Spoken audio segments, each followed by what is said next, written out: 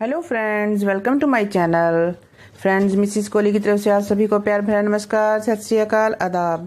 दोस्तों, एक बार मैं फिर हाजिर हूँ एक नई रेसिपी के साथ। आज हम बना रहे हैं मावे वाले गुलाब जामुन, जो खाने में बहुत ही टेस्टी होते हैं और सबको बहुत पसंद आते हैं। आइए देखते हैं इसके लिए हमें किन किन चीज़ों की ज़रूरत है।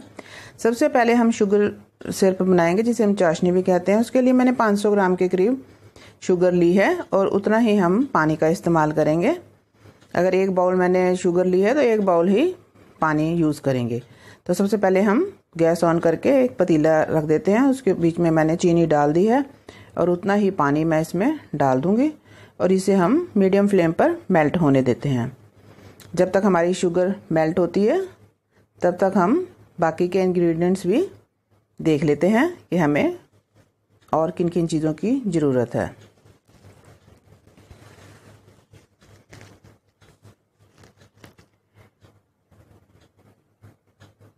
ये हमने 250 ग्राम के करीब मावा लिया है, खोया लिया है। ये घर का बना हुआ ही खोया है, काफ़ी सॉफ्ट खोया मैंने लिया है। और पाँच टेबल स्पून के करीब मैं मैदा ले रही हूँ। और थोड़ी सी हम हरी इलायची का पाउडर लेंगे। और ये स्टफिंग के लिए मैंने थोड़े ड्राई फ्रूट्स लिए हैं, जिसमें मैंने काजू, बादाम और पिस्ता लिया है। अब खोए को हमने अच्छी तरह से मैश करना है थोड़ा थोड़ा सा मैदा डालकर। शुगर में मैं इलायची की छिलके भी डाल देती हूँ, इसको भी हम वेस्ट नहीं करेंगे और इसे एक बार अच्छी तरह से चला देंगे।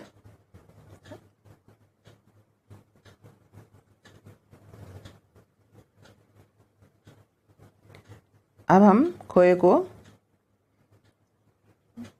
मैदा डालकर अच्छी तरह से मिक्स करेंगे। एक इसका सॉफ्ट डो तैयार करेंगे। खोए को और मैदे को हमें बहुत अच्छी तरह से मिक्स करना होता है। बिल्कुल अच्छी तरह से इसको मुलायम बनाना होता है। तभी हमारे गुलाब जामुन अच्छे और सॉफ्ट बनते हैं। ये देखिए, अगर मुझे पानी की या दूध की ज़रूरत पड़ेगी तो मैं इसमें डालूँगी अदरवाइज़ मुझे खोया सॉफ्ट है तो डालने की ज़रूरत नहीं पड़ेगी।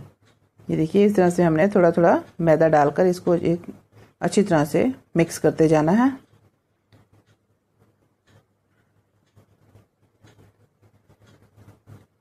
मैं सारा मैदा इसमें डाल दूँगी और इसे अच्छी तरह से मसल मसल कर हम एक डो तैयार कर लेंगे। ये देखिए, इस तरह से स्मूथ डो हमने तैयार करना है, बिल्कुल मुलायम डो।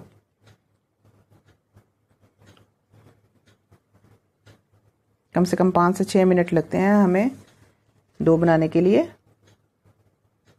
ये देखिए, पाँच से छः मिनट हो चुके हैं और डो हमारा अच्छी तरह से सॉफ्ट डो बनकर तैयार हो चुका है। ये देखिए, हम हमारे हाथ में बिल्कुल भी ऑयल नहीं आया है। और डो हमारा तैयार हो गया है। चाशनी को एक बार हम फिर चला देंगे। ये देखिए, चीनी इसमें बिल्कुल मेल्ट हो चुकी है।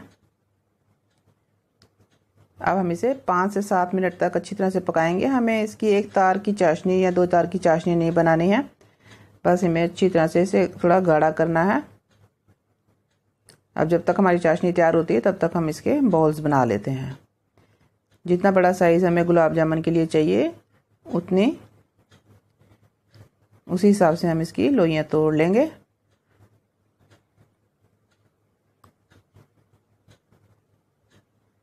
और सभी बॉल्स बनाकर रख लेंगे।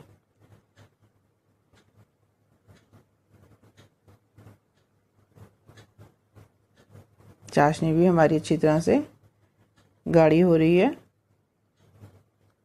पाँच से छः मिनट हो चुके हैं। दो तीन मिनट में इसे और पकाऊँगी। और शुगर सिर्फ़ हमारा तैयार हो जाएगा।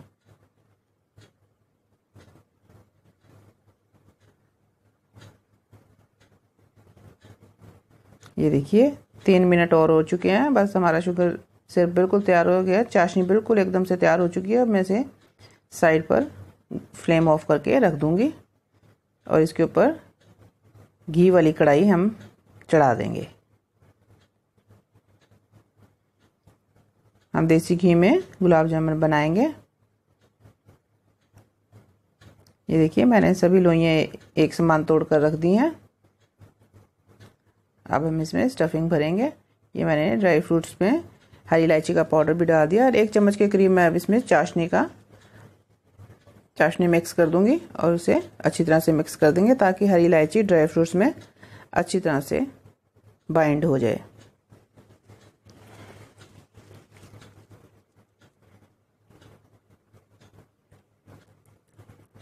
अब हमें एक बॉल उठाएँगे, उसे अच्छी तरह से फ्लैट कर देंगे पहले और उसमें स्टफिंग को भर देंगे। स्टफिंग हमें थोड़ी थोड़ी ही भरनी है, ज़्यादा स्टफिंग हमें इसमें नहीं भरनी है। और इसे अच्छी तरह से, इस तरह से बंद करके, और उसकी फिर बॉल, अच्छी बॉल इसे अब हम बनाएँगे। बिल्कुल, इसमें क्रैक्स नहीं होने चाहिए। और इसी तरह से मैं सभी बॉल्स बना लूँगी।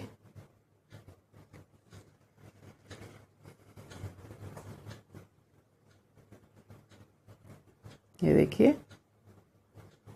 इस तरह से हम सभी बॉल्स बना लेंगे। एक मैं और बनाकर आपको दिखाती हूँ। ये देखिए, इस तरह से फ्लैट करेंगे और इसमें ड्राई फ्रूट्स को हम भर देंगे। स्टफिंग उतनी ही भरनी है जितनी हमें इसमें ज़रूरत है। ज़्यादा स्टफिंग हमें इसमें नहीं भरनी। अब इस तरह से इसको भी बॉल अच्छी तरह से बनाएँगे। सारे बॉल्स मैं इसी तरह से तैयार कर लूँगी। और घी को मैंने लो फ्लेम पर रखा है। लो फ्लेम पर ही हमें घी को रखना है।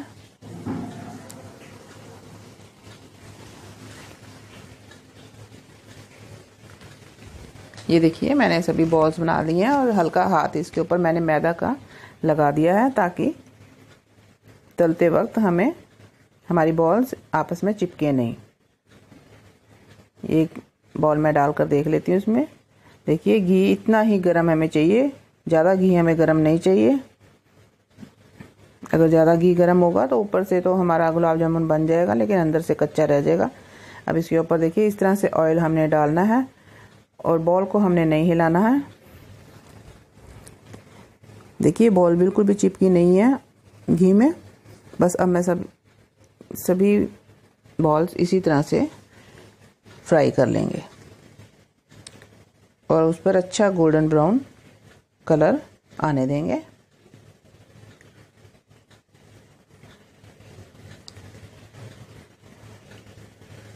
अभी मैं इतने ही डाल रही हूँ इसमें, ये देखिए, हल्का हल्का ब्राउन होना शुरू हो गया है। बस मैंने घी में ही चम्मच को घुमाना है बॉल्स को नहीं छेड़ना।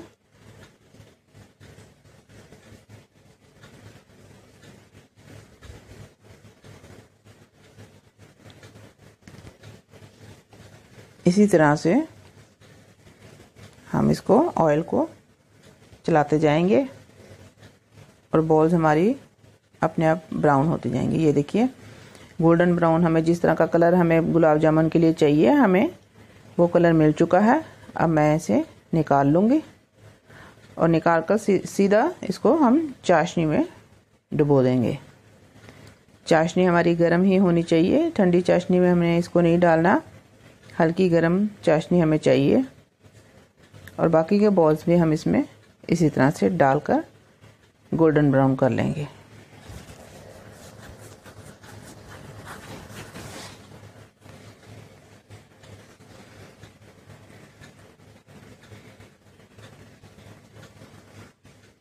घर पर हम बहुत आसानी से गुलाब जामुन बना सकते हैं। ये देखिए मैंने चाशनी में डायरेक्ट गुलाब जामुन डाल दिए हैं। और अभी तो ये ऊपर तैर रहे हैं लेकिन धीरे धीरे ये इस इसके अंदर बिल्कुल डूब जाते हैं। जैसे जैसे चाशनी इन, इनके अंदर जाएगी ये चाशनी में डूब जाएँगे। और बाकी के गुलाब जामुन भी हमारे फ्राई हो, हो रहे हैं गोल्डन ब्राउन। ये देखिए कितना अच्छा कलर इन पर आ चुका है। अभी इसे हम दो से चार मिनट और पकाएँगे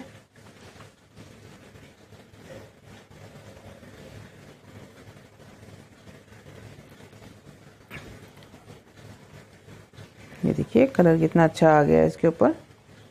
अभी हम एक मिनट के लिए और इसे रखेंगे। बस हमें ज़्यादा ब्राउन इसे नहीं करना।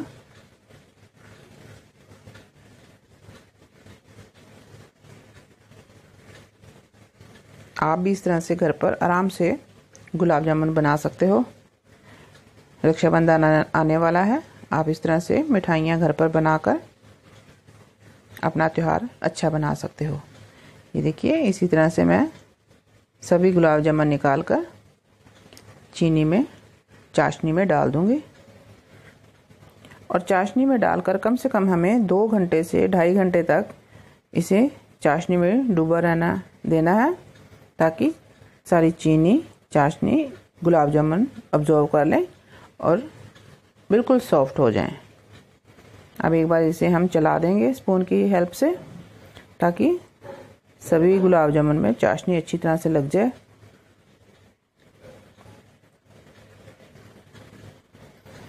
और 250 ग्राम के खोए के हिसाब से हमें कम से कम 22 से 23 गुलाब जामुन हमारे तैयार हो चुके हैं। और घर पर बनाया खोया है ये। एक मन में अलग ही खुशी होती है जब हम घर पर इस तरह से मिठाई बनाते हैं। बनाने में भी बहुत मज़ा आता है और खाने में और खिलाने में। ये देखिए, कम से कम एक घंटे के करीब हो चुका है हमें। गुलाब जामुन को चाशनी में डुबे हुए। ये देखिए, कितनी अच्छी तरह से डूब चुके हैं। दो घंटे के करीब हमें हो चुका है। अब हम इसकी प्लेटिंग कर देंगे।